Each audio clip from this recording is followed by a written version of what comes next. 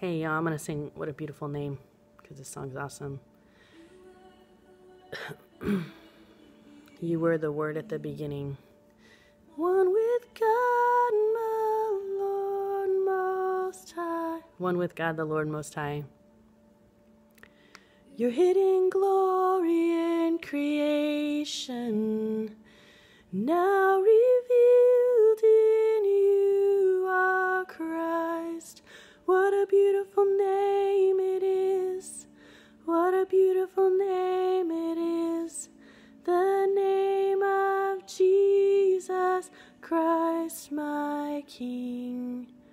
What a beautiful name it is. Nothing compares to this. What a beautiful name it is. The name of Jesus.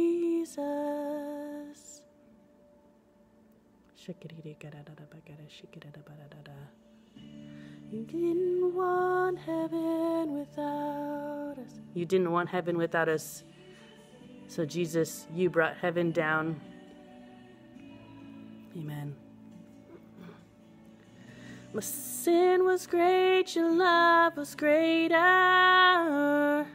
What could separate us now? What a beautiful name it is. What a beautiful name it is. The name of Jesus Christ, my King. What a beautiful name it is. Nothing compares to this. What a beautiful name it is. The name of Jesus. And what a beautiful person he is, Jesus. There is no one more beautiful than Jesus. There is no one more handsome or amazing or heart stopping as Jesus. If you think about what he did for you and all that he sacrificed for you, no one will ever sacrifice for you as much as Jesus did. And that's why you should love him more than you love any other human being on the planet. For real, dude. For real. he deserves your complete adoration and love. And never forget that. He is the King of Kings. And he did so much for you. If you really think about it, you gotta really think about it. Death could not hold you, the veil tore before you.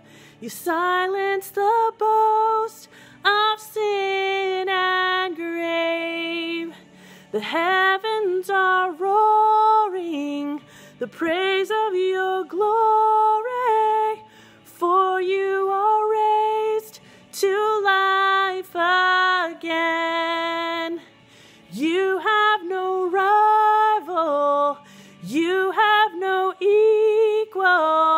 now and forever, God, you reign. Yours is the kingdom, yours is the glory, yours is the name above all names. What a beautiful name it is. What a powerful name it is. The name of Jesus Christ, my King. What a beautiful name it is. Nothing compares to this. What a beautiful name it is. The name of Jesus. Death could not hold you. The veil tore before you. You silence the boast of sin and grave. The heavens are roaring the praise of your glory,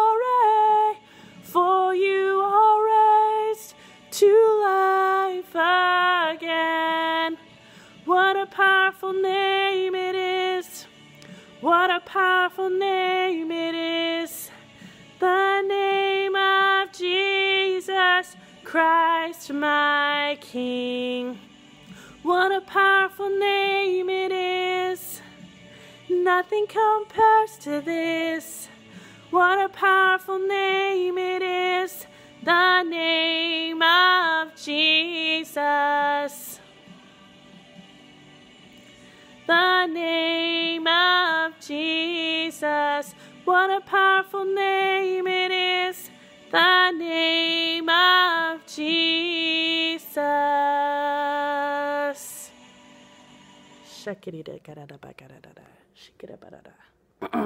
Amen. Jesus is the most powerful name. Do you believe it? Do you believe that when you say the name of Jesus, demons will flee, darkness will tremble, people will get healed? Do you really believe it? I mean, I'll be honest, sometimes I don't believe it either, but we're supposed to. You know, that at the name of Jesus, dead people can be alive again, not just physically dead, but spiritually dead, you know, mentally dead, emotionally dead. You know, depression is definitely an emotional deadness. But do you really believe that? That at the name of Jesus, anything can be resurrected back to life? Anything can. You just have to believe. Jesus said, according to your faith, it will be done to you, you know? If you have faith, if you have faith as small as a mustard seed, you can move mountains. And your faith is in the name of Jesus, not in yourself or in your own healing powers. Of course, nobody has healing powers in and of themselves. We have them from God. So if you really believe that Jesus is the most powerful name ever, then you should believe that when you say his name, demons have to flee, you know? People who are possessed have to become unpo- not possessed, you know?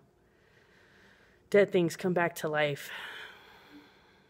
That's the truth, y'all. Believe it. of course, it's one thing to talk about it, but then to actually do it in person is different. But I will say, I have a testimony of um, an experience I had. I think I've shared this in one, one video, but I was a, a nanny for a girl who I think literally was demon possessed. She was only two, but her aunt was a witch. And I guess if you have like an aunt in your bloodline, it can cause even children to become possessed. She was only two. She had really light blonde hair, but like dark, dark eyes, like almost black when I met her. And I thought that was really strange. And just after watching her for two weeks, like I would play Hillsong worship music on my laptop when I was over there at her house watching her, like while she was sleeping or just like anytime. And literally after two weeks, her eyes turned from like a dark brown black to like a light, light blue color. So I've seen it with my own two eyes. I didn't do any exorcism on her. I didn't even, well, I prayed for her while she was sleeping, but that's all I did. Like, I didn't like, you know, do a yelling exorcism weird thing with her. All I did was pray for her and play worship music around her. And, you know, the demons left her. And so it's, it's possible. So there's my one testimony of a of demons fleeing when the presence of Jesus is around someone. It works. Now I'm going to sing Sing a Victory by Elevation Worship. This is a really cool song. Like, really, really good. Good job, Elevation.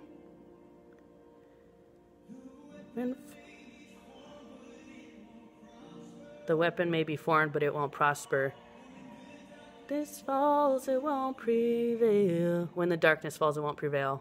Cause the God I know only how to triumph. The God I know,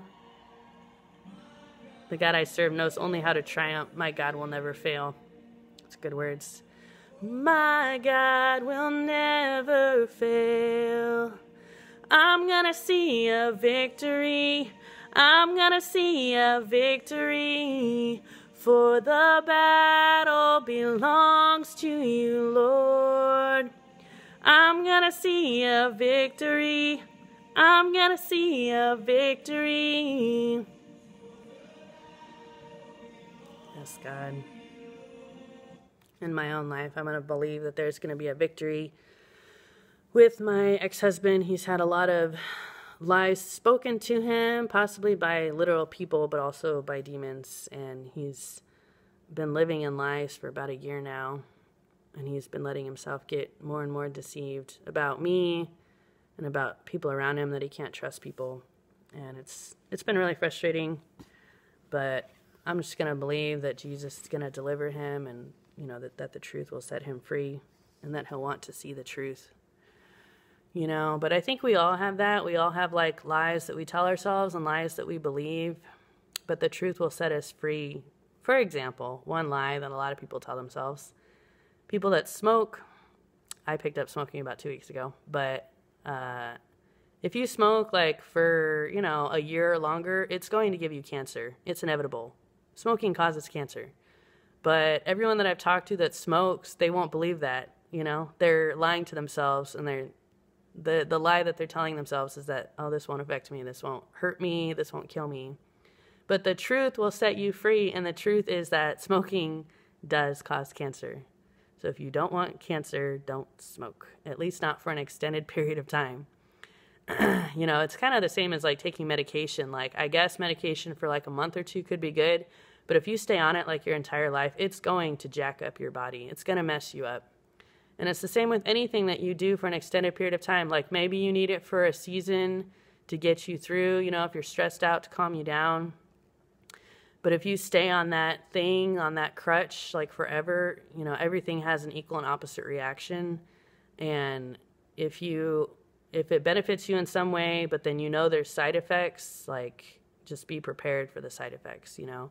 And if you smoke for a long time, you're going to get cancer or it's going to mess up your body in some way because it's not good for you. It's poison. You know, and the truth will set you free. And it's the same way with like junk food, sugar. Sugar causes cancer. I know it would be hard to give up ice cream. I would have a hard time with that. But, you know, you just got to see the truth, and the truth will set you free. Sugar causes diabetes, sugar causes cancer. Like, you need to stay away from sugar. I know it's hard. I mainly eat like chicken salads now or, or like fish salads. Um, and I'm trying to stay away from sugar with the exception of ice cream sometimes. But, you know, people need to see the truth. You know, you're not going to get better until you see it, you know. And Jesus said to that man at the pool, Do you want to get well? you know, a lot of people don't want to get well. Like they want to get sick, you know? Like that song by Billy Joel, Only the Good Die Young.